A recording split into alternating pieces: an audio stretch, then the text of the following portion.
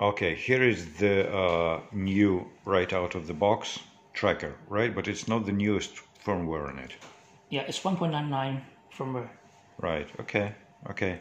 So this is the update tool, the USB thing. Where is it? And this Here thing is, mhm. was to update the firmware of the tracker. Mm-hmm. But today we use this cable to feed MAVLink data, telemetry data to mini collapsible. Okay, I'll show you how to do that. So we can connect this thing to the left port and then we power on.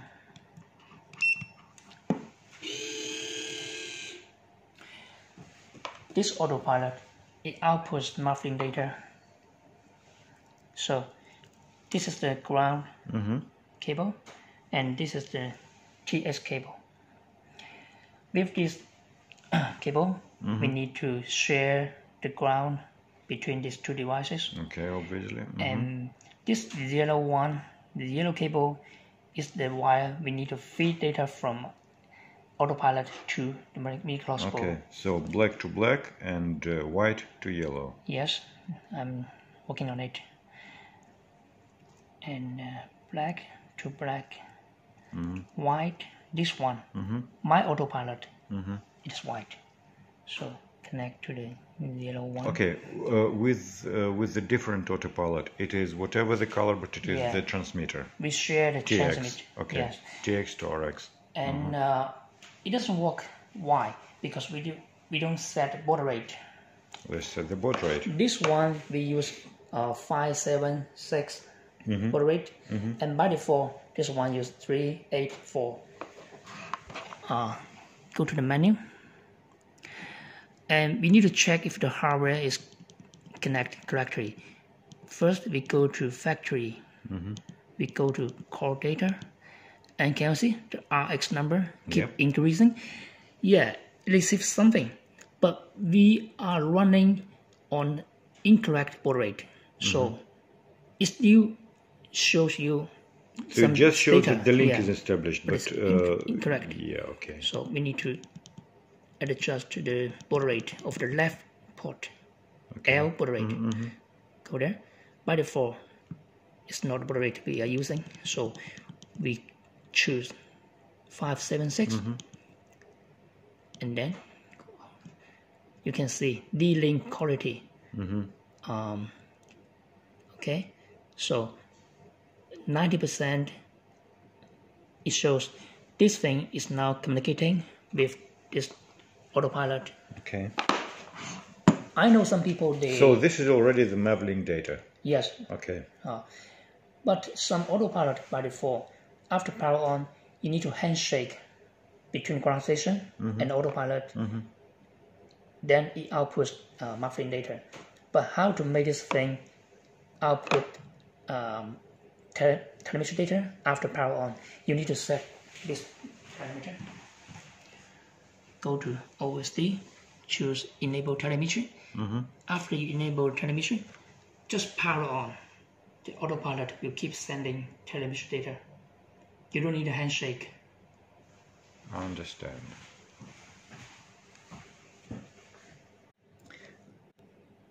Okay, this this tracker is a different one, right? Yeah, um, this tracker has the most updated firmware V2.0 and it also has um, a board. Uh, this board we put it on a web shop uh, for symbolic one dollar. So our old clients they can uh, place the order online just for one dollar. Yeah, but plus shipment fee, right? Oh yes. And I'm showing you how to use this board to feed MAVLink data to the tracker. Okay, connect to the left port. Power on. Uh, let me introduce this board. With this board, you can connect a Bluetooth module, update the cable, extend GPS, uh, but today I'm going to uh, use this this board to feed MAVLink data, telemetry data. Okay, let's try that. You can connect this thing to any of the three socket. I use this one. So black is the ground, and yellow we use this cable to feed telemetry data to the mini crossbow. And we got something new in the menu uh, enter. First, we choose the left port rate to 576 and then we need to choose the protocol use. Um, we can use any in this case but if you use uh, left and right port in the same time you need to tell the tracker what we're going to use on the left. We're going to use choose this is GPS and this is MAVLink this is S port. So today we use MAVLink for the left port okay. Zero so now we don't have any telemetry data. This is the autopilot. And uh, this is the cable. We share the ground. And the white cable is the telemetry data. To the left. Uh, to the to the yellow. Uh-huh. yes. And then can you see we have something? Uh, let me uh, d-link 90% Yes. yes. Disconnect. So with this board you can connect your uh, multiple devices. For example you can connect your bluetooth module. In the same time you connect um, your external gps and this cable can be also used to the right port. Here. We have um description about this board. Uh can you see? Yep. so lr Left. when you connect this thing to the left port number one two three four five. You can see 5 volt transmit uh, you can see. And when you connect this thing to the right port you should check this. Your r that means in this case the five wires number one two three four five you check this is1 we do so we can also use the right connector to feed telemetry data. Let me show you. Number one can you see? Number mm-hmm. one. All okay. right. One more link. i'm working on it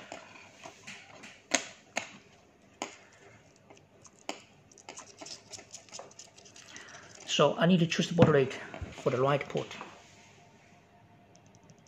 Baud rate.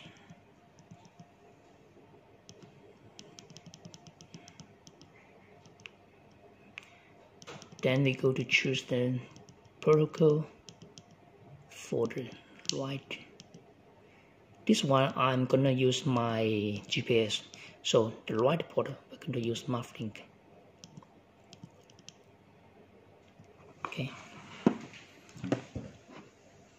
uh, when you connect to the right port number one is the MAVLink data number five is ground so this time we connect the cable here so number, one. five Ah, number five. This. ground Right. and number one is red so we feed telemetry data share the ground and we connect data to pane number one D-Link. can you see the Yeah, link D-Link. in Twenty percent only.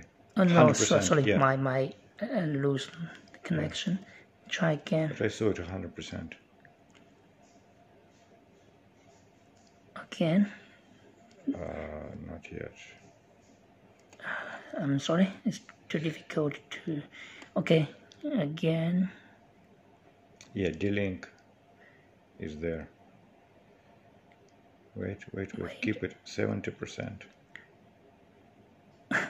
I'm sorry, my Yeah, I my understand, hand. okay, Yes, so connecting to different port, you use different definition Mm-hmm. of this these wires.